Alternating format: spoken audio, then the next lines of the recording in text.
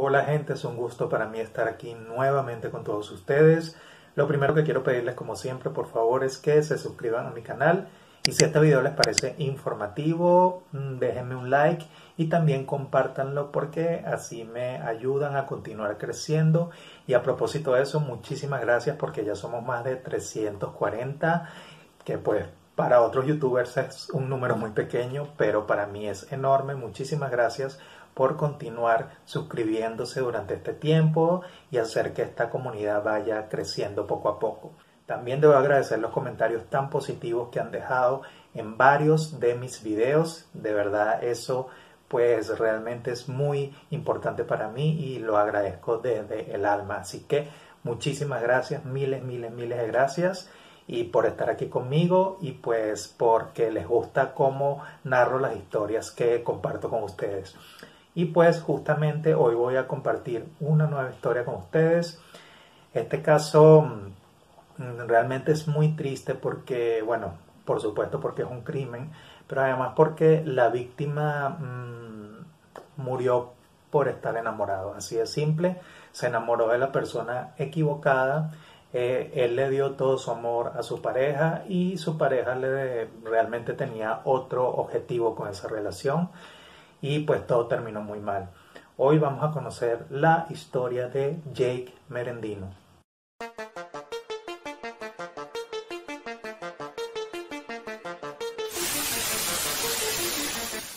Este hombre que ven en pantalla es Jake Clyde Merendino. En el año 2013, que es cuando podemos decir que comienza esta historia, él tenía 51 años. Jake eh, nació en Texas y creció allí y vivió prácticamente toda su vida allí. Y pues era un hombre adinerado, tenía mucho dinero, primero porque sus padres, que ya en el 2013 lamentablemente ya habían muerto, le dejaron una pequeña fortuna porque ellos eh, trabajaban en una petrolera muy importante que es la ExxonMobil y pues habían acumulado una buena cantidad de dinero y se lo dejaron como herencia a Jay.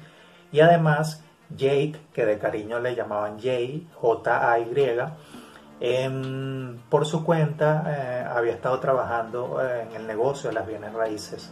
Ah, y también le había ido muy bien, por lo que pues por su cuenta también había podido ahorrar una buena cantidad de dinero, así que pues en la parte económica estaba muy bien y estaba totalmente despreocupado. Jake tenía varios amigos, tenía muchos amigos porque decían que él era una persona que se daba a querer, era muy simpático, muy carismático, en las reuniones era el alma de la fiesta, eh, siempre hacía que las personas que estaban con él se rieran muchísimo, inclusive decían que llegaban a llorar de la risa con él. Realmente pues eh, muchas personas le tenían mucho aprecio y mucho cariño a Jay por cómo los trataba, porque además consentía mucho a sus amigos y a sus seres queridos. Ellos decían que pues Jake era una persona muy pública, que siempre andaba muy bien vestido, se notaba que tenía dinero, pero pues no lo hacía para presumir nada, sino que simplemente ese era su estilo de vida y él era así, pero no era una persona soberbia ni prepotente. Em, le gustaba ir a muy buenos restaurantes, le gustaba viajar, le gustaba darse buena vida, le gustaba disfrutar de su dinero. Además coleccionaba relojes Rolex, que ya sabemos que son bastante costosos. Y pues él tenía varios como colección y pues así, él realmente gastaba su dinero para darse una buena vida y pues porque estaba muy bien económicamente, como ya mencioné.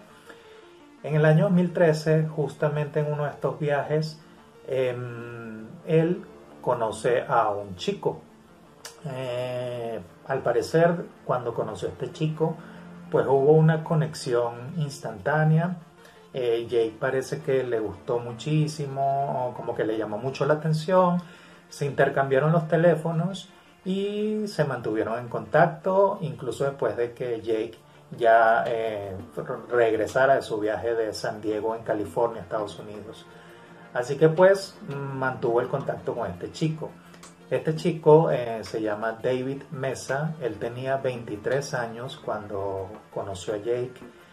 Y pues era un chico, mm, además de por supuesto muy joven en comparación con Jake, que prácticamente le doblaba la edad, Era un chico que se veía que se cuidaba mucho, que se dedicaba mucho a su imagen, hacía ejercicio, así que pues era un chico que llamaba la atención en ese aspecto. Y pues nada, ellos, eh, tanto Jake como David, a partir de ese momento que se conocieron, eh, mantuvieron una especie de relación a distancia, eh, se mantenían en contacto, se enviaban mensajes y todo esto. Y pues mm, la cuestión como que se fue manteniendo en el tiempo y la relación perduró. en algún momento, hay, en esta historia mm, hay datos que no que no son transmitidos como de forma muy precisa por los medios de comunicación. Inclusive vi un capítulo de una serie documental dedicada a este caso y pues hay, hay partes de la historia que son un poco imprecisas. Y pues en algún momento eh, Jake decide presentarle a sus amigos a David. Entonces pues se reunieron, comenzaron a, él como que comenzó a introducir a David dentro de su círculo social y los amigos, pues, mm, cuando lo conocieron, sí se dieron cuenta, pues, por supuesto que era un chico muy joven y pues que era atractivo. Bueno, pero pensaron que quizá Jake eh, lo tenía como una especie de relación pasajera, como un chico para pasar el rato y, bueno, mm, tener buenos momentos, por decirlo de alguna manera. Entonces, pero bueno, al parecer eh, Jake mm, continuó con David y lo llevó a varias reuniones con sus amigos. Y hubo un momento que sus amigos se dieron cuenta pues que la relación continuaba, eh, pasó el tiempo y ya luego de casi dos años, pues los amigos ya veían que Jake continuaba con David. Los amigos ya se empezaron a como que mm, a dar cuenta de que quizá esta relación mm, era más seria de lo que ellos pensaron al principio.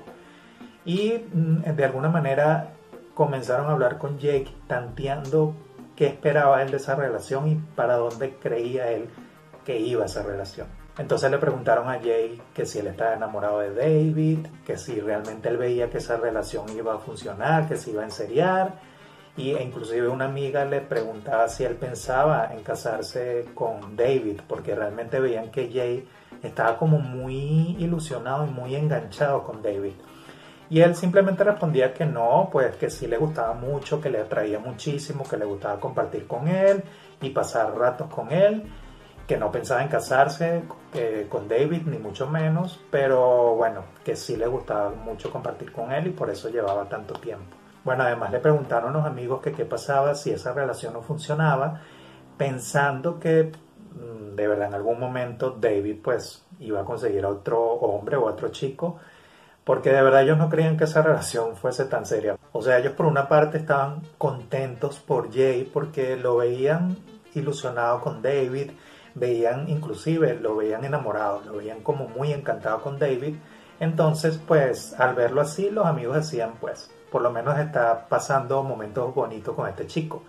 Pero muy en el fondo ellos sí mm, no dejaban de pensar que quizás David, pues, mm, estaba disfrutando del dinero de Jake, así de simple.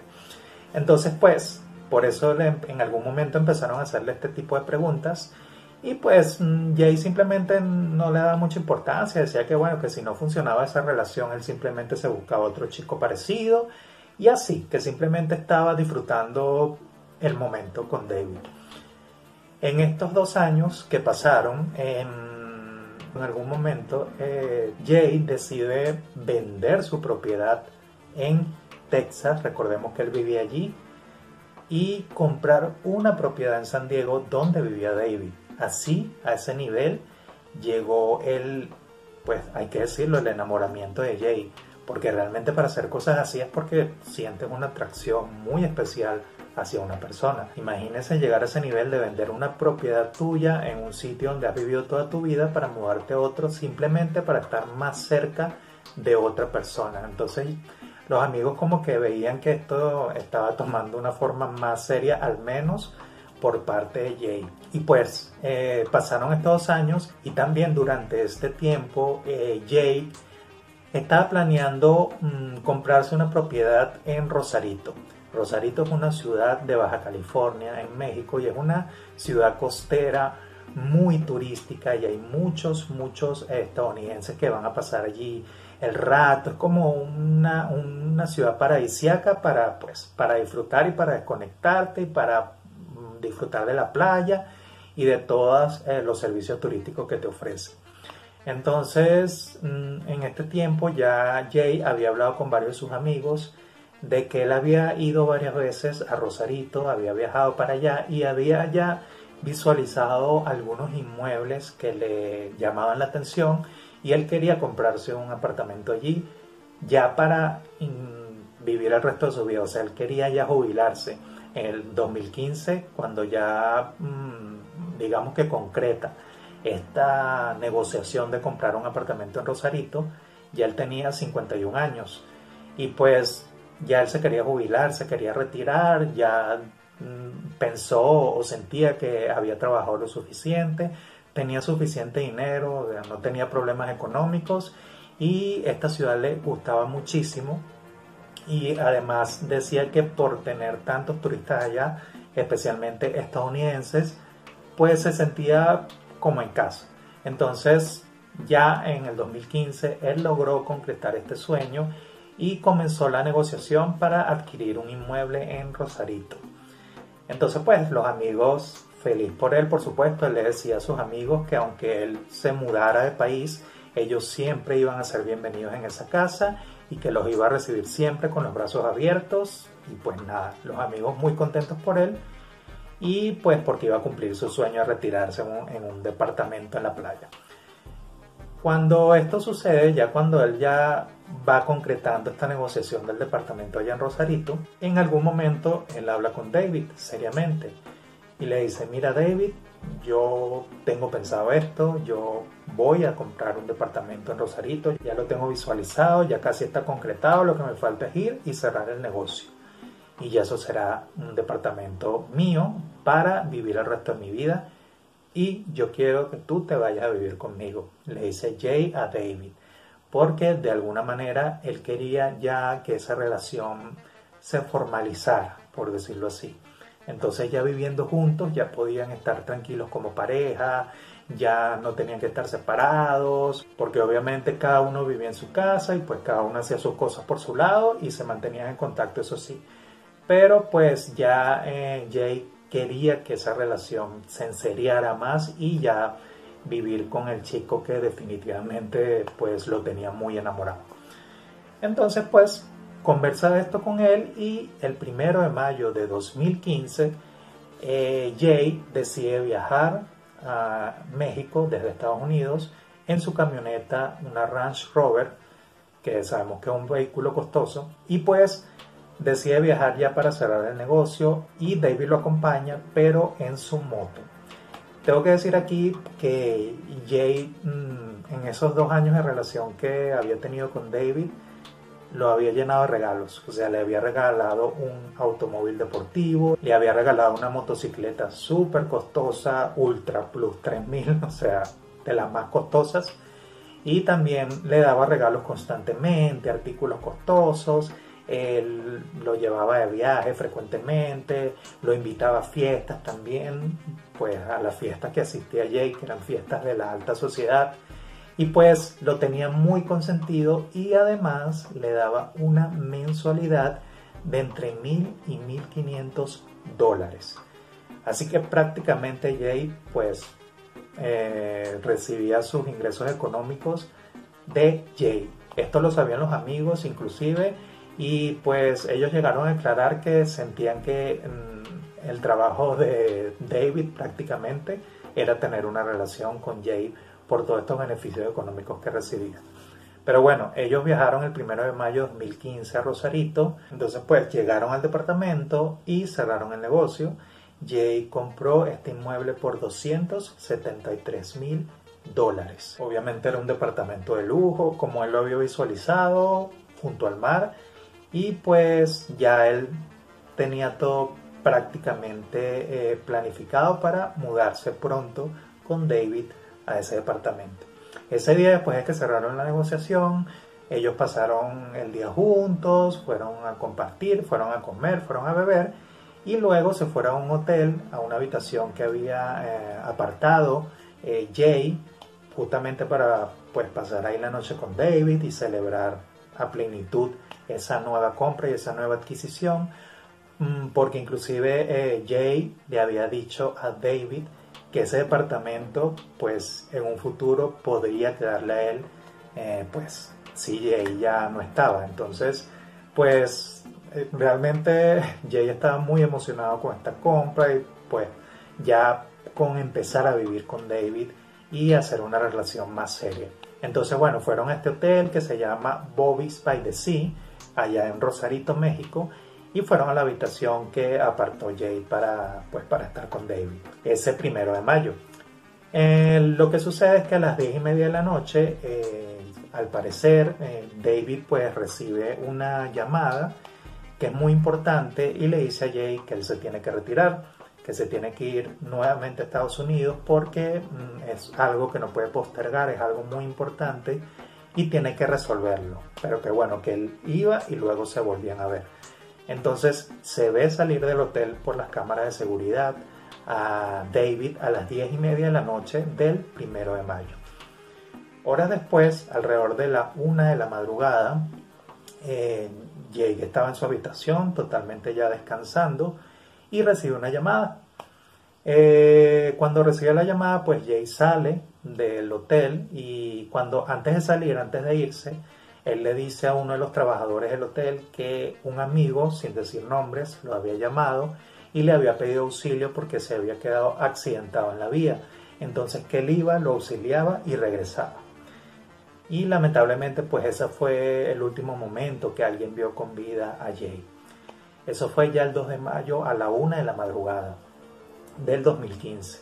Alrededor de dos horas después, a las 3 y media de la madrugada, mm, la policía de Rosarito está haciendo sus rondas eh, pues de costumbre por las vías de esa ciudad y ellos se dan cuenta que en una de esas vías eh, que queda eh, en una zona que se llama Arenales hay un auto estacionado. Ellos les llamó la atención primero porque esa vía por la que estaban circulando solía ser muy oscura, entonces no era común que alguien estuviese estacionado allí. Y además, al ver el vehículo, mm, se dieron cuenta que era un vehículo costoso y era muy probable que fuese un turista. Entonces eh, decidieron pararse a ver qué hacía ese carro allí estacionado a un lado de la vía. Cuando se bajan, ellos se acercan y comienzan a ver el interior de la camioneta y no ven a nadie. Pero mm, de repente se dan cuenta que uno de los lados de la camioneta está lleno de sangre, o sea, tiene manchas de sangre. Y cuando revisan mejor se dan cuenta de que en el piso hay mucha sangre. Y pues obviamente ellos eh, de inmediato eh, concluyen de que algo sucedió. Cuando revisan mejor se dan cuenta de que eh, esta sangre mm, dibuja un rastro que lleva a un barranco, porque esta vía quedaba justo al lado de un barranco que además daba al mar. Ellos siguen el rastro, este camino de sangre, y cuando llegan al barranco y comienzan a ver, mm, eh, a revisar mejor esa zona, se dan cuenta de que hay un cuerpo de un hombre al fondo del barranco. Evidentemente, pues ellos se acercan, ven si este hombre está herido qué le sucedió y se dan cuenta de que está muy, muy mal herido. Em, e inclusive ya pues determinaron que no tenía signos de vida. Obviamente ellos comienzan con el procedimiento de llamar a quienes tienen que llamar en este tipo de casos y revisan el interior del automóvil, de la camioneta, y se encuentran con un pasaporte y se dan cuenta allí que es de un ciudadano extranjero que se llama Jake Merendino. Pues eh, ellos ya cuando llegan pues todos los investigadores empiezan a revisar la escena del crimen, empiezan a ver en los alrededores, a buscar bien si había más pistas de lo que había sucedido, de lo que había podido suceder. Las autoridades de allí de Rosarito quedaron totalmente impactadas porque en esa ciudad pues mm, no era común que sucedieran este tipo de cosas, era una ciudad muy turística, muy paradisiaca. Entonces la gente iba a relajarse allá, iba a desconectarse, a despreocuparse y era una ciudad pues totalmente turística eh, donde la gente no pensaba que sucedían este tipo de cosas. Entonces al principio estaban muy confundidos de lo que había sucedido. Primero pensaron que quizá pudo haber sido eh, un robo que salió mal, pues por ser un extranjero eh, que se veía que tenía dinero y estaba manejando solo a esas horas de la madrugada por esa vía oscura y quizá bueno salió mal ese robo pensaron ellos y también inclusive llegaron a pensar que pudo haber sido eh, obra de un asesino en serie que quizás llegó a esa ciudad y comenzó pues a hacer eh, a cometer sus crímenes allí en Rosarito. Entonces estaban muy confundidos con lo que estaba sucediendo. Realmente no se explicaban qué pasaba. Ellos, por supuesto, en algún momento eh, trasladaron el cuerpo mm, de Jake a donde le iban a hacer la autopsia y pues comenzaron con la investigación. Eso fue el 2 de mayo, cuando consiguieron el cuerpo de Jake de 2015 a las 3 y 33 de la madrugada específicamente. Pasa ese día y al día siguiente, alrededor de las 7 de la noche, al hotel donde se estaba quedando Jake, llega David eh, y él llega acompañado con una chica. En este punto tampoco hay una información precisa de realmente qué sucedió cuando David y esta chica llegaron al hotel. Lo que se dice es que ellos llegaron diciendo que eh, ellos iban a buscar las pertenencias que habían quedado en la habitación de Jake. Entonces, pues al parecer los trabajadores del hotel les dieron acceso, me imagino que reconocieron a David pero aunque les dieron acceso, sí llamaron a la policía porque pues ya se sabía el asesinato de Jay. Y pues eh, ellos ingresaron a la habitación, eh, David y la chica sacaron lo que tenían que sacar, pero la policía de Rosarito llegó a interrogarlos y le preguntó a David eh, qué, relación tenía con Jay, que si él estaba con Jay en el momento en que sucedió este hecho, este crimen, y pues David le dijo que no, que él no estaba con él, que sí había estado allí en Rosarito junto con Jay, pero él se había ido antes y pues no estaba en el momento del crimen y que la venía a buscar las cosas de Jay porque eh, él era como su heredero. Y allí, este, según se dice muy por encima, porque realmente no se profundiza aquí en estos momentos, yo no sé si no lo hacen porque quizá la policía de Rosarito no queda muy bien eh, porque quizá no indagó mucho y dejó que David se fuera. Pero bueno, David les muestra a la policía, para corroborar esto de que él era heredero de Jake, un testamento. La cuestión es que este testamento tenía una particularidad. Jake al parecer había escrito este testamento en algún momento y pues se especificaba claramente que Jay le dejaba todo, absolutamente todo a David, o sea, sin especificar todo su dinero y todos sus bienes a David. Pero pues lo más extraño de esto, además de, que haya sido un testamento escrito en una hojita a mano, que estaba hecho en una hojita de un hotel. No sé si saben, pero hay hoteles que pues en las habitaciones dejan libretitas para que tú anotes lo que necesitas anotar y suelen tener el logo del hotel en la parte de arriba o en algún lado de la hoja y en una de esas hojas de algún hotel, Jay había hecho ese testamento a mano y lo había firmado. Entonces, eso, ese testamento, al parecer se lo mostró David a la policía de Rosarito y él se fue. O sea, lo dejaron que se fuera porque no, además no había ninguna forma o no tenían cómo relacionarlo con el crimen de Jay. Y se fueron. Luego se dieron cuenta de que David se había llevado la computadora portátil de Jay un reloj Rolex que él tenía allí, eh, que tenía incrustaciones de diamante, valorado en 15 mil dólares, nada más y nada menos, su iPhone y su iPad. Así que pues se llevó cosas de valor, pero bueno, él se fue. En algún momento de la investigación el FBI se involucra y es porque era necesario, porque Jay era un ciudadano estadounidense que fue asesinado en México. Así que pues el FBI entra eh, en la investigación y creo que ahí es cuando ya justamente la investigación toma mayor impulso. El FBI lo que hace es primero contactar a los conocidos de Jay y pues porque hasta ese momento nadie sabía, o al menos de los conocidos de Jay, que él había sido asesinado. Bueno, la autopsia, ya para decirles qué pasó específicamente con Jay, pues el resultado dio a conocer que Jay había sido apuñalado 24 veces. Además, su garganta había sido cortada de una manera tan salvaje que casi lo decapitan. Entonces fue tristemente un crimen muy sangriento y muy violento. Por supuesto allí ya las autoridades mm, comenzaban a pensar que esto no podía ser un simple robo porque había mucha hazaña en contra de Jay y pues ya empezaron a surgir otras hipótesis de que quizá había algo más detrás de este crimen. El FBI entonces comienza a comunicarse con el círculo, el entorno de Jay, los amigos y los conocidos y los familiares y pues allí ellos se enteran y quedan totalmente en shock. Eh, no podían creer que esto le sucediera a Jay. De hecho, inclusive al principio mm, dijeron que no, que no podía ser él, que esto debía ser una confusión, que no podía pasarle algo así a Jay. Pero bueno, al final sí eh, se corroboró que era Jay porque mm, el FBI le pidió a una prima de Jay que fuese a identificar su cuerpo allá en Rosarito y cuando ella llegó sí se dio cuenta definitivamente que era Jay, pues todos quedaron muy conmocionados, muy tristes, muy afectados y de verdad les tomó la noticia por sorpresa, una muy, muy desagradable sorpresa. Y ahí el FBI comienza a indagar un poco más de, pues, de la vida de Jay y qué, qué hacía allí en Rosarito y todo esto. Y ahí pues ellos se van enterando de más y más detalles de que él estaba allí comprando un departamento, porque quería retirarse eh, o quería jubilarse allí, quería vivir el resto de su vida allí y que estaba ahí justamente para cerrar la negociación y que estaba con un chico que se llamaba David, que, con el cual estaba saliendo.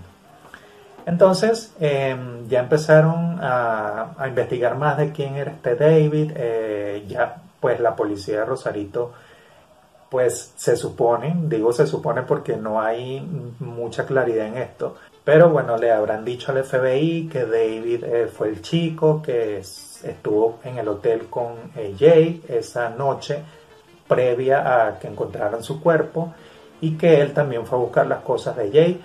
Entonces en algún momento el FBI dice, mm, vamos a averiguar bien a este chico porque algo está pasando aquí, vamos a preguntar por él y dónde está. Entonces lo que sí le dicen los amigos de Jay a la policía o al FBI es que pues sí, que ellos estaban saliendo, tenían una relación, al parecer iban a vivir juntos allá en Rosarito y pues que era un chico muy amable, que conocía a Jay desde hacía dos años, que se conocieron en San Diego, California y pues eso, que tenían una especie de relación y que ellos lo conocían en persona y que pues nada, eso, le dieron los detalles que ellos conocían de David. No se deja muy claro si el FBI se comunicó eh, en este tiempo con David mientras hacía las primeras investigaciones, pero yo supongo que sí, por algo que les voy a comentar después. Me imagino que de alguna forma lo contactaron y le preguntaron que dónde estaba él cuando ocurrió el, el crimen y le preguntaron los detalles básicos o la información básica de lo que sucedió el día previo al crimen y el día del crimen, porque se supone que ellos dos, Jay y David, estaban juntos. Así que bueno, empezaron las indagaciones y el FBI comenzó ya su investigación más, más, decidió tomarse un tiempito para reunir detalles y detalles y detalles e inclusive decidió ponerse a vigilar a David. Fueron hasta donde vivía David, averiguaron dónde estaba su casa y le montaron pues una vigilancia de 24 horas por varios días y empezaron realmente a indagar el día a día de David para ver quién era él, qué hacía, a qué se dedicaba, dónde iba, a qué se dedicaba el tiempo libre, a todo. Ya saben cómo es el FBI. Y pues duraron varios días en eso y encontraron varios detalles interesantes. Entre las cosas que lograron investigar fue primero que esa llamada que recibió Jake a la una de la madrugada, una y tanto de la madrugada, el 2 de mayo, el día que fue encontrado su cuerpo, la hizo David. Eh, obviamente ya ellos sabían que David eh, había estado en el hotel con Jay y que se había retirado en su motocicleta a las 10 y media de la noche del 1 de mayo.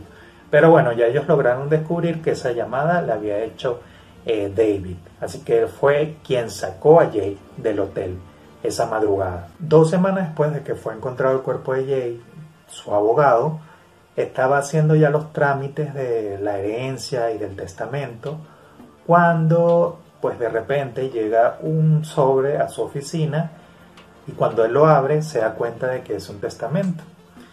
Y es eh, una réplica de este testamento que les comenté que tenía David, que le enseñó a la policía Rosarito, pues que estaba escrito a mano en una hoja de un hotel y estaba firmado por Jay. Obviamente él se extrañó muchísimo porque no tenía conocimiento de ese testamento y se comunicó con las autoridades. Esto fue otro detalle que hizo acrecentar las sospechas hacia David, porque este testamento justo lo, se lo envió al abogado cuando eh, se enteró de que había movimientos con la herencia de Jay. Entonces ese fue otro punto, estaba la llamada, que él fue quien llamó a Jay en la madrugada al hotel, y además ahora estaba este testamento que David había enviado al abogado Jay. El FBI decidió rastrear la oficina postal desde donde fue enviado este sobre que le llegó al abogado de Jay con el testamento escrito a mano y que tenía como remitente a David y lograron ubicar la oficina y además, por supuesto, determinar el día que fue enviado este sobre. Ah, ellos pues eh, decidieron revisar las cámaras de ese día para ver si efectivamente había sido David y sí, en las cámaras se ve claramente como David, acompañado de una chica, entran a la oficina postal y envían el sobre. Eh, actúan como una pareja pues tradicional y se ve además que tiene una apariencia como si estuviese embarazada. Entonces, a raíz de ese video es que ellos logran eh, llegar hasta San Diego y ubicar a David y empezar a vigilarlo. Otra cosa que logró investigar el FBI es que día después de que el cuerpo de Jay fue encontrado sin vida, David vació las cuentas de Jay. El FBI revisó teléfonos, correos electrónicos, cuentas bancarias y pues allí se dieron cuenta de este vacío de las cuentas bancarias de Jay por parte de David. Por supuesto, esto sumó muchas más sospechas sobre David. Así que bueno, ellos se tomaron un tiempo para ir acumulando pistas sobre David, porque además los amigos mm, de alguna manera le habían dado a entender que ellos sospechaban que David eh, era una especie de cazafortunas, aunque realmente no lo querían ver de esa manera porque veían que era un muchacho muy agradable muy alegre y, pues eh, caía bien. Él de alguna manera se ganó cierto cariño de los amigos de Jay entonces, aunque muy en el fondo sí llegaron a pensar que eh, el interés de David era más económico, pues no lo veían como si fuera realmente verdad, pero sí le comentaron al FBI que bueno, que ellos tenían cierta inquietud en ese aspecto. Cuando el FBI ya decide eh, vigilar a David, como les comenté, las 24 horas, eh, prácticamente se pusieron afuera de su casa para ver a dónde iba, eh, ellos se dieron cuenta de otras cuantas cosas preocupantes. Lo primero y lo que más le llamó la atención a ellos es que David tenía pareja, tenía una novia, una mujer, que se llamaba Taylor Lanston. Esta chica fue inclusive quien acompañó a David al retirar las pertenencias de Jake el día 3 de mayo. Entonces, pues ellos mm, se dieron cuenta de esto, de que él tenía pareja y además esta mujer, esta chica, que para ese entonces, en el 2015, tenía 21 años, estaba embarazada de David y estaba a punto de dar a luz. Inclusive Taylor dio a luz un mes después de que se encontró el cuerpo sin vida de Jay. Entonces esto pues obviamente causó impacto en el FBI como que definitivamente llegaron a la conclusión de que David llevaba una doble vida, además porque también lograron conocer que David se dedicaba a hacer videos de contenido sexual para hombres adultos y que además ofrecía servicios sexuales a través de internet. Entonces, pues ellos comentaron estas cosas con los amigos de Jay y ellos se quedaron impactados. No sabían, por supuesto, que tenía una novia y muchísimo menos que estaba embarazada. Y ellos aseguraban que Jay tampoco sabía de la existencia de esta novia. Y segundo, los amigos pues tampoco sabían que David se dedicaba a hacer videos para adultos de contenido sexual y muchísimo menos que ofreciera servicios sexuales a través de internet. Entonces estas dos noticias como que wow, desencajaron muchísimo a los amigos y familiares de Jay y que estaban segurísimos de que Jay no sabía la existencia de Taylor. Entonces bueno, ya el FBI había mm, acumulado varias cosas interesantes que incriminaban a David y decidieron entrevistarlo. Y no solo a él, sino que también decidieron entrevistar a Taylor y fueron con una orden de revisión a la casa donde vivía David con Taylor.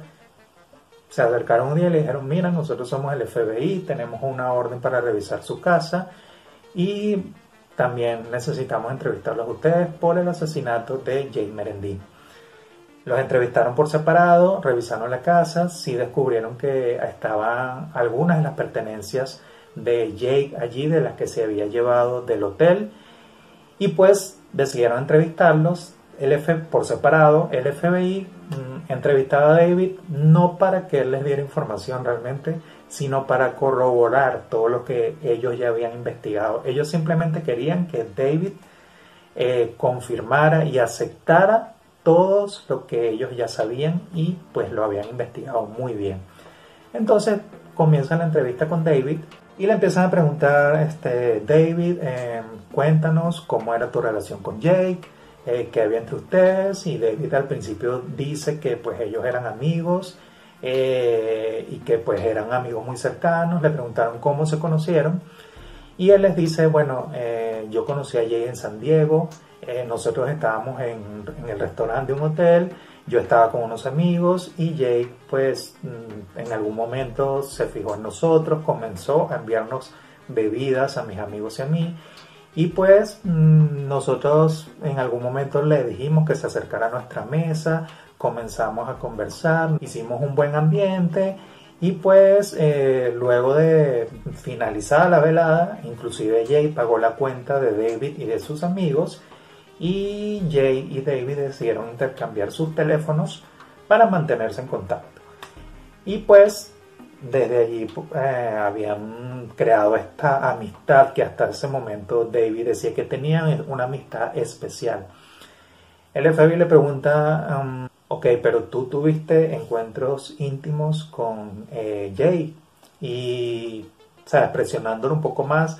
Mientras más avanzaba la entrevista, el FBI iba presionando y presionando más a David para ver si poco a poco le sacaba las verdades. Entonces, Mm, David le dice que sí en un principio, pero que realmente, bueno, en un principio le dice que no, que eran amigos especiales y que eh, Jay lo respetaba mucho.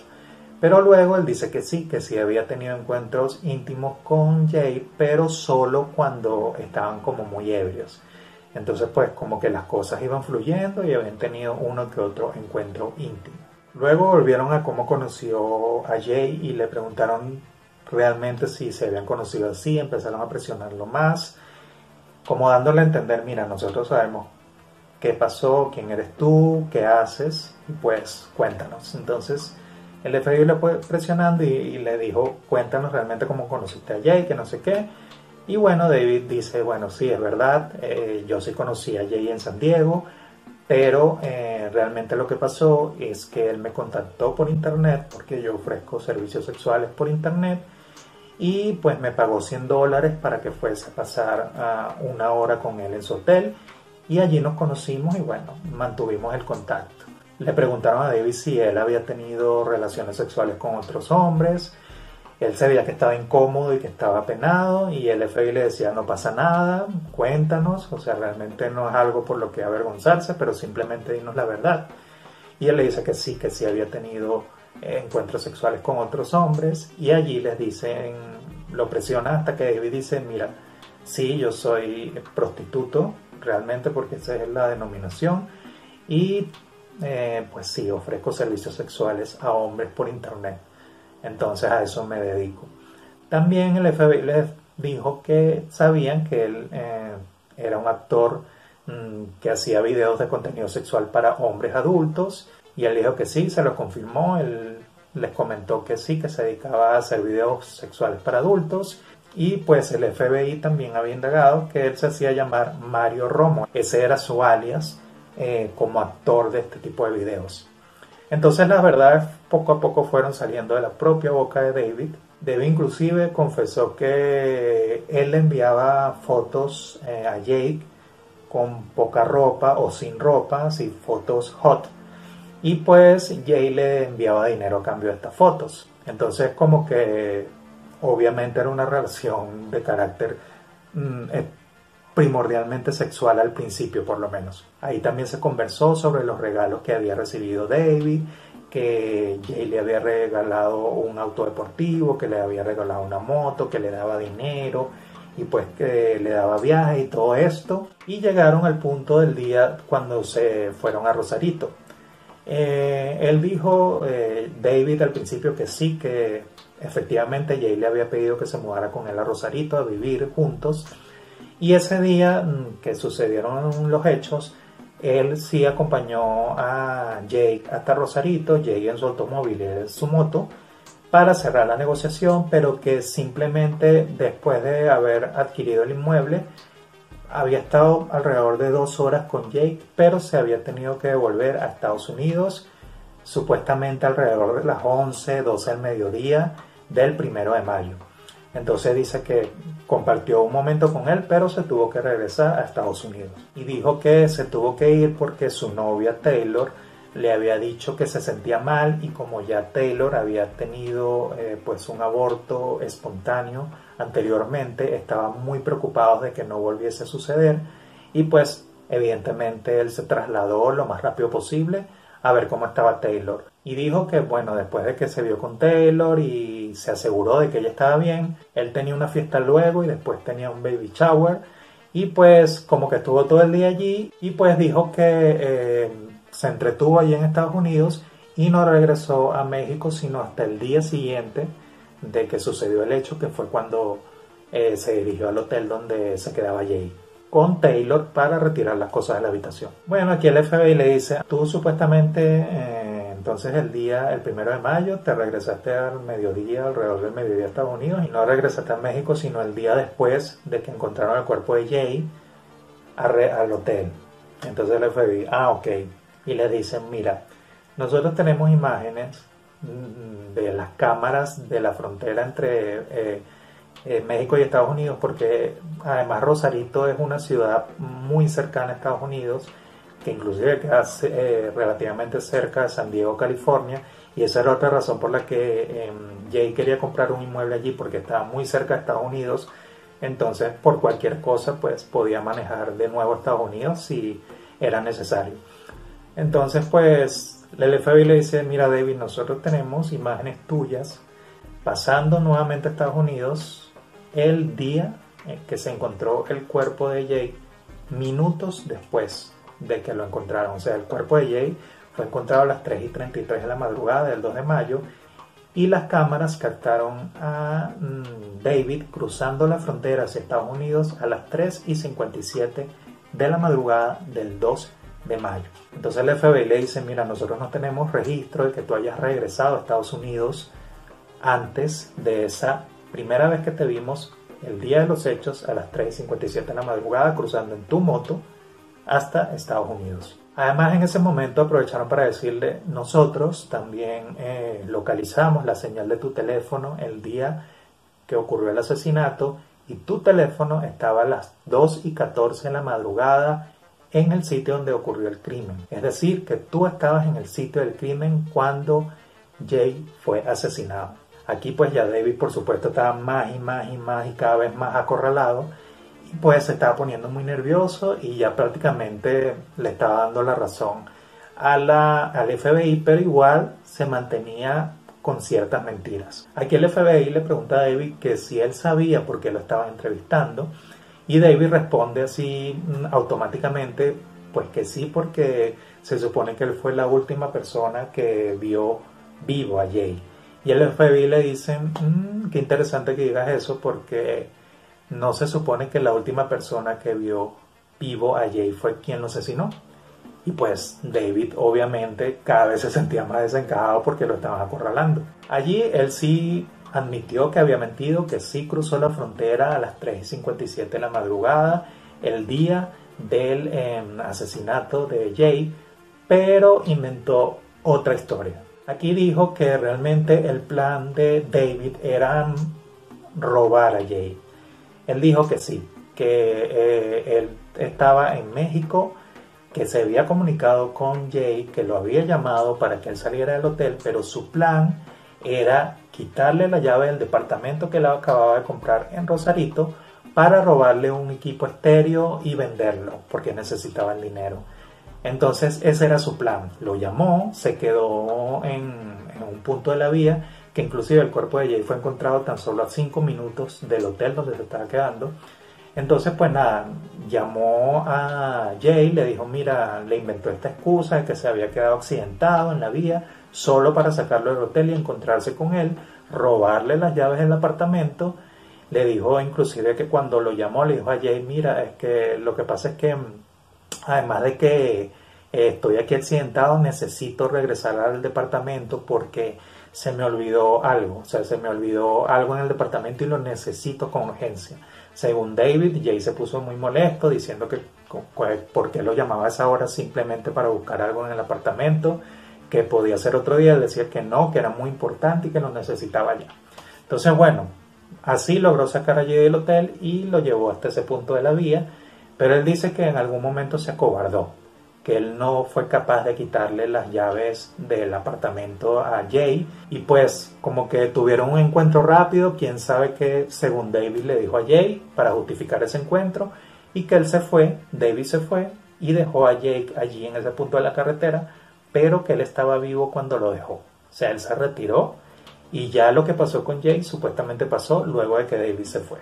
Eso fue la historia que le estaba diciendo David al FBI en esta entrevista. Y aquí entra Taylor, mm, porque recuerden que David fue con Taylor al hotel a buscar las cosas de Jake, pero además el FBI había captado a Taylor cruzando desde México a Estados Unidos 25 minutos después de que Jake pasó la frontera a las 3 y 57 en la madrugada. Entonces le dicen, mira, nosotros también vimos a Taylor en una van ella solita, que cruzó la frontera a Estados Unidos luego de que tú le hiciste 25 minutos después, explícanos qué pasa allí con Taylor. Entonces le dice allí, mira, eh, sí, eh, yo realmente le dije a Taylor que viniera a México con una van y que me esperara en Tijuana, que queda muy cerca de allí de Rosarito, con la van para pues concretar este robo. Entonces que yo iba a conseguir las llaves del apartamento, iba a sacar el estéreo y que pues ella me buscaba en esa van para llevarnos el estéreo y pues supuestamente venderlo en Estados Unidos. Pero entonces como nada se concretó, eh, supuestamente Jake se fue con Taylor, se encontró con Taylor y se fueron a casa de un amigo. El FBI le pregunta, ah, entonces si supuestamente tú no robaste el apartamento de Jake y no le hiciste nada, ¿qué hiciste tú? Ese tiempo, ¿dónde estabas? Pues mira, después de que pasó todo, nosotros fuimos a casa de un amigo que yo tengo allí, que se llama Joe, y que realmente se llama José Aguilera, pero ellos le decían Joe, y estábamos en su casa cuando se supone que ocurrió el asesinato de Jay. Entonces el FBI le dice, mira, eh, nosotros investigamos a este amigo tuyo, por eso les digo que en algún momento el FBI ya había hablado con David y le había preguntado cosas muy básicas de lo que había hecho ese día. Porque el FBI le dice ahorita, nosotros hablamos con este amigo que tú mencionas, este José Aguilera, Joe, y él nos dijo lo siguiente, él nos dijo que ustedes no habían ido a su casa ese día, que inclusive tenían dos años sin visitarlo, que él no los veía desde hace dos años a ellos, a Taylor y a David, y que inclusive nos dijo que tú le habías dicho a él que si alguien le preguntaba, inclusive la policía, que si él había estado ahí eh, en su casa el día que ocurrió el crimen, que él le dijera que sí. Así que esa coartada se te cayó, compañero. O sea, tu amigo José Aguilera nos desmintió esto que tú nos estás comentando. Pues por supuesto David, totalmente acorralado, cada vez estaba más nervioso. Por su parte, Taylor eh, había dicho lo mismo, que ya eh, por supuesto se había puesto eh, de acuerdo con David y había dicho que sí, que ella había pasado la frontera para eh, acompañar a David a hacer lo que tenía que hacer y que bueno, pero que después se fueron al, a la casa de este amigo Joe y que bueno, que ellos estaban juntos en esa casa de ese amigo cuando ocurrió el crimen. Bueno, el FBI continúa presionando más y más a David y mm, le saca en algún momento unas cartas. Porque el FBI se preguntaba cómo era posible que Jay estuviese tan enamorado de David. O sea, realmente era un, estaba enamorado solo. ¿Qué sucedió para que Jay llegara a ese punto de enamoramiento con David hasta tal nivel de que quería irse a vivir con él a Rosarito? Entonces, pues Mm, en algún momento de la entrevista, eh, el FBI le saca unas cartas a David y le dice, mira lo que tengo acá. Nosotros conseguimos esto mientras estábamos investigando. Entonces cuando David la ve, se da cuenta de que pues son unas cartas de amor que él le había enviado a Jay, que él le había estado enviando a Jay.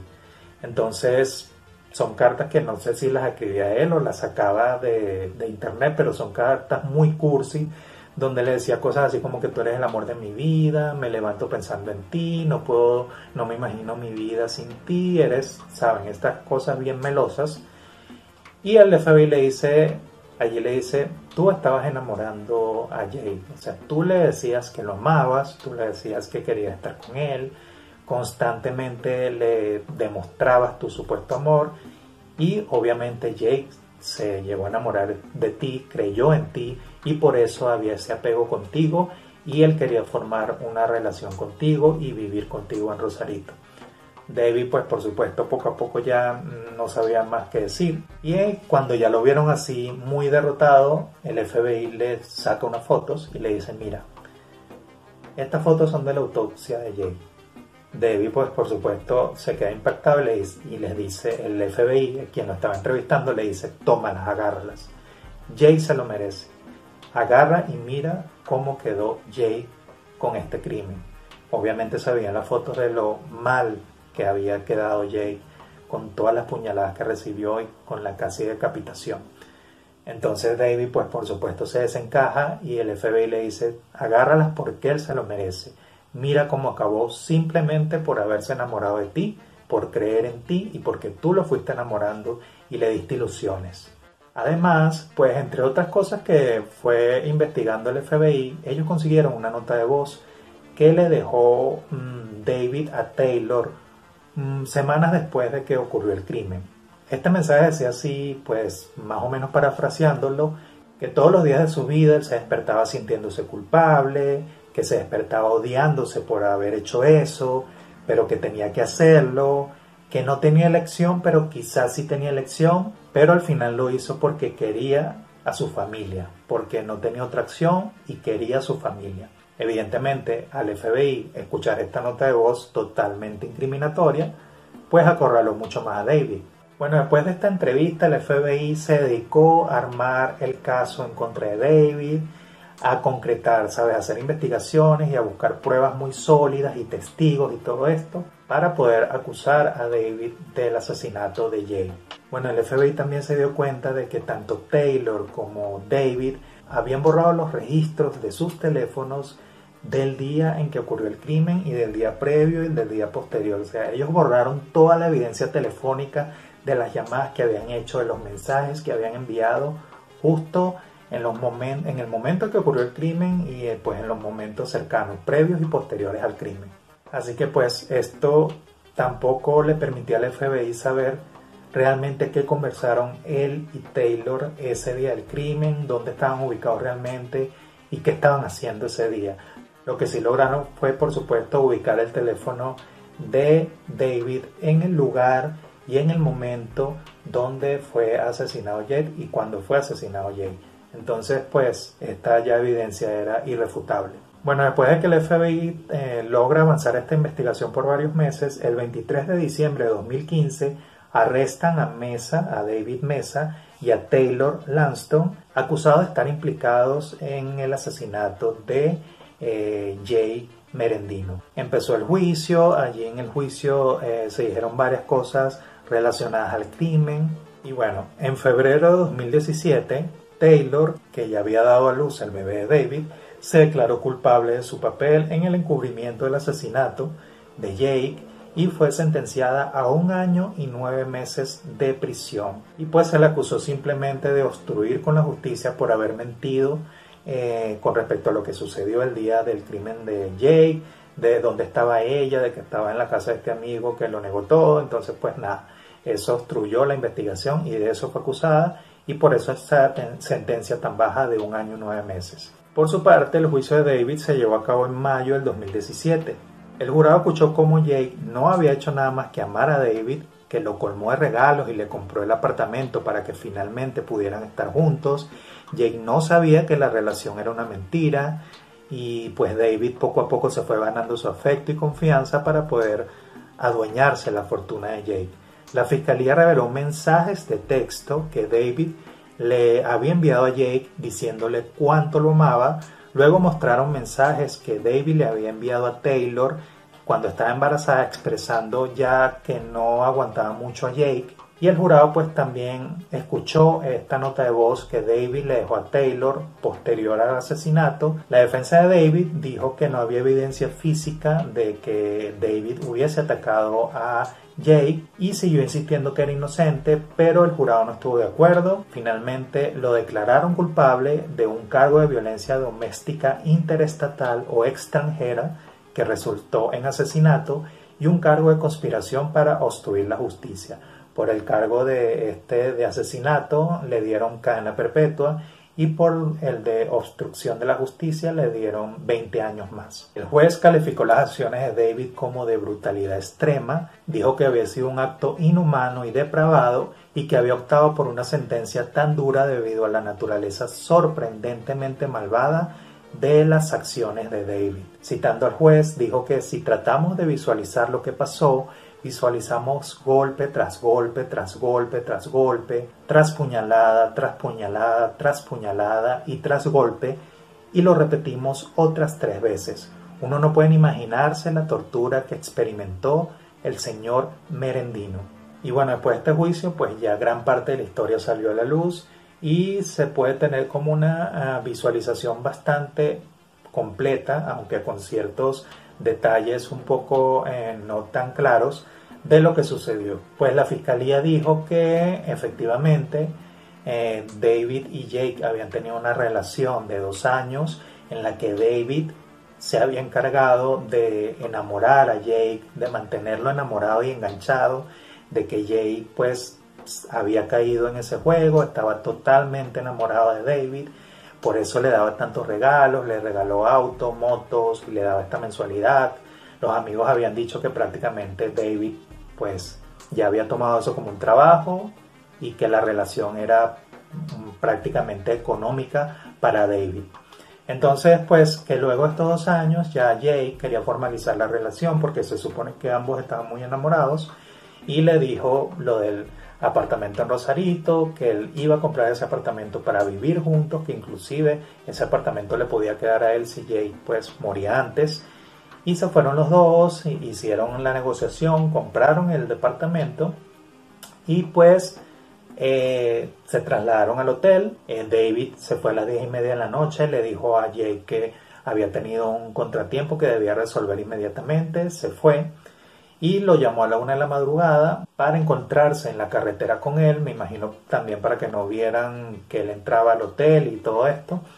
Y pues allí se encontró con él en la carretera, lo asesinó brutalmente, dejó su cuerpo allí y se fue. Con respecto al este testamento que tenía David en su poder, los amigos dijeron que conociendo a Jay como lo conocían, era muy probable, y pues ya sabiendo la relación que tenía con David, era muy probable que en alguna noche de un encuentro íntimo, pues en un hotel, David pues lo más probable es que eh, habría estado tomando con Jake, los dos llegaron, bueno, más Jake, Jake quizá llegó a un momento, a un punto de estar muy ebrio y pues con la excitación del momento, David de alguna manera lo convenció para que le hiciera este testamento a mano en una hojita de una libretita de un hotel donde le dejaba todo. Pues lo más probable es que David lo haya envuelto, como Jay estaba tan enamorado en el calor del momento y todo esto, pues Jay accedió, quizá David le dijo, bueno, si me amas tanto, este, déjame todo. Y como Jay estaba borracho, pues se lo tomó a la ligera y le hizo ese testamento firmado, escrito a mano y firmado por él. Entonces, obviamente, ese testamento no tenía validez si Jay estaba vivo, si se daba a conocer, porque Jay inmediatamente iba a decir que eso no tenía validez porque lo hizo en un momento de, embriaguez. Y pues realmente funcionaba solo si Jay estaba muerto porque no podía decir que no era válido. Entonces, que realmente ese testamento era muy extraño y que pues David lo sacó como una carta ya desesperada luego de que asesinó a Jay. Inclusive uno de los abogados decía que los testamentos escritos a mano en Texas se reconocen todos los días. Entonces, pues por supuesto, David ya creía que tenía una carta totalmente asegurada para quedarse con la fortuna de Jay que estaba valuada en alrededor de 3 millones de dólares, además del departamento que había adquirido en Rosarito. él quería todo, todo, porque así lo le pidió a Jay que lo escribiera en el testamento, que le dejaba todo a David. Y pues también llegaron a la conclusión de que cuando Jake ya le dice a David para irse a vivir juntos, David se vio acorralado. Él no podía irse a vivir con Jake porque tenía Taylor, su novia con la que vivía, y que además estaba embarazada y estaba muy próxima a tener su bebé. Entonces era imposible para David irse a vivir con Jake y pues obviamente Jake no sabía la existencia de Taylor, entonces se vio acorralado y pues quizá cayó en desesperación porque se dio cuenta de que iba a perder todo el dinero que estaba recibiendo con Jake, todas esas comodidades que le daba Jake, todos esos regalos y todo esto. Y pues la única manera era simplemente y tristemente deshacerse de Jake, quedarse con todo su dinero, con sus propiedades y pues ya dedicarse a vivir su vida en pareja con Taylor y con su hijo o hija y ya pues con el dinero que le supuestamente le había heredado eh, Jay. Entonces ese era el plan. Él se vio acorralado y dijo, no, ya, o sea, si, si no lo hago ahorita, pues pierdo todo. Un amigo de Jay, pues por supuesto dijo que ese fue un asesinato a sangre fría con fines de lucro por parte de una serpiente en la hierba que merece podrirse en la cárcel. Y bueno, aquí también está la parte de Taylor. Taylor, que era la novia de Jake, pues como ya les comenté, ella fue simplemente condenada a un año nueve meses por el cargo de obstrucción a la justicia. Y bueno, a mí, no sé, realmente a mí, bueno, muchos sospechan que, y yo también lo sospecho, que ella tiene mucho más que ver o que tuvo mucho más que ver en este crimen, no simplemente que ella fue a México a acompañar a David a robar un estéreo y que ella simplemente estaba ahí por eso y que después se regresaron. Eh, muchos piensan que ella sabía mucho más detalles de esta relación. Cuando ella se le preguntó eh, si ella conocía la existencia, si ella sabía que Jake y David eran pareja, ella le dijo, ella dijo simplemente que no a través de sus abogados, dijo que ella no tenía conciencia que ellos eran pareja, que inclusive no sabía que David se dedicaba a hacer videos de contenido sexual para adultos, y eh, que inclusive ella también fue engañada, que ella pensaba que David le había dicho que Jake era su jefe, que David trabajaba para él como contador, que esos regalos costosos que él recibía era porque David era muy buen trabajador. Y pues eso, o sea, que ella también fue engañada, inclusive llegó a decir que ella fue sufrió de violencia tanto sexual como psicológica como física por parte de David, así que ella era otra víctima. Entonces, pues, mm, ella al final terminó negando todo. Mm, realmente yo no sé, yo sí creo que ella tuvo que saber más. Yo dudo muchísimo, o sea, es imposible que una pareja tuya, o sea, tenía cinco años de relación con David cuando ocurrió el asesinato. El, David la conoció apenas cuando ella tenía 16 años, estaba en preparatoria, así que tenía una relación muy larga. Eh, obviamente eh, David tenía una relación paralela eh, con Jake y con Taylor.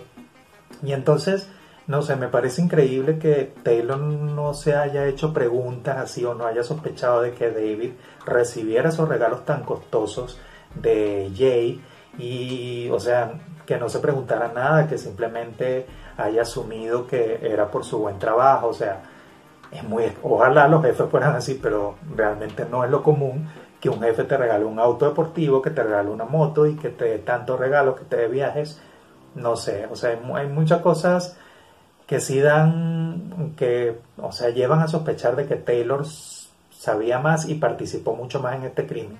No se le puede asociar tampoco porque además no se sabe qué hizo Taylor eh, mientras ella estuvo en México. Cuando eh, Taylor fue con la van, esta, con esta camioneta a México supuestamente para ayudar a David con lo que se iba a robar, no se sabe qué hizo, no se sabe dónde estuvo ubicada, no se sabe si estuvo cerca de la escena del crimen, no se sabe, no se sabe nada. Entonces, obviamente ella desactivó su teléfono para no ser localizada. Lo único que se sabe es que cruzó la frontera de Estados Unidos 25 minutos después de David el día del asesinato. Entonces no había pruebas contundentes, pero la fiscalía sí tenía grandes sospechas con ella y casi, casi logran que la acusen de complicidad, pero pues, lamentablemente no se pudo. Entonces pues yo sí tengo mis dudas con respecto a esto. Es muy probable que David y Taylor hayan llegado a un acuerdo y pues quizá David le, haya dicho a Taylor que él iba a asumir toda la responsabilidad, que él iba a asumir toda la culpa, quizá ya lo habían planeado antes, porque pues Taylor iba a tener a su hijo y quizá él quería que ella lo criara fuera de la cárcel. Entonces eh, planeó todo esto para que Taylor recibiera una pena menor y ella pudiese criar a su hijo en común fuera de la cárcel. Es lo, pues, lo que muchas personas quizá concluyeron y yo mm, sinceramente creo que fue así porque dudo mucho que esta novia de David mm, haya sido tan inocente y tan ingenua y que haya tenido tan poca participación en lo que sucedió. Pero bueno, al final es un caso resuelto, el culpable fue condenado a cadena perpetua, eh, Taylor ya está libre porque ella fue condenada en 2017 en febrero a un año y nueve meses, así que ya está en libertad, está con el hijo que tuvo con David. Pero bueno, David, que se supone que fue el autor material e intelectual, pues está preso eh, cumpliendo su cadena perpetua. Es un caso bastante mm, triste, bueno, porque a mí también me llama la atención que Jake haya caído tan fácil, que se haya dejado engañar y que se haya enamorado tan fácil de David Quién sabe qué tan insistente fue David demostrándole su supuesto amor con estos mensajes y estas cartas y pues en los momentos íntimos. Pero wow, sí me parece increíble que un hombre así ya de cincuenta y tantos años haya mm, creído que iba a poder tener una relación con un hombre que ofrecía servicios sexuales por internet, que era mucho más joven que él, y pues que se veía que mm, era muy complicado que tuviese una relación formal y seria con Jay. Entonces, mm, pues nada, también me llama la atención eso, pero bueno, tristemente Jay murió víctima de esta relación y los amigos realmente también les dolió mucho eh, imaginar que Jay mm, vio o se dio cuenta de que la persona que él amaba a quien le había dado tanto y a quien le quería dedicar el resto de su vida fue quien lo asesinó porque por supuesto eh, Jake pues tuvo que haber visto cuando David lo comenzó a atacar. Entonces no se imaginan lo mucho que debió haber eh, sufrido y lo triste que debió haberse sentido Jake cuando vio que el hombre de su vida fue quien lo asesinó. Entonces, bueno, hasta aquí el caso de hoy. Mm, coméntenme qué tal les parece, qué conclusiones tienen ustedes. Y pues muchísimas gracias por estar conmigo en este nuevo video. Por favor, eh, suscríbanse, eh, compartan y den like si este video les pareció informativo. Un abrazo y nos vemos en otra oportunidad.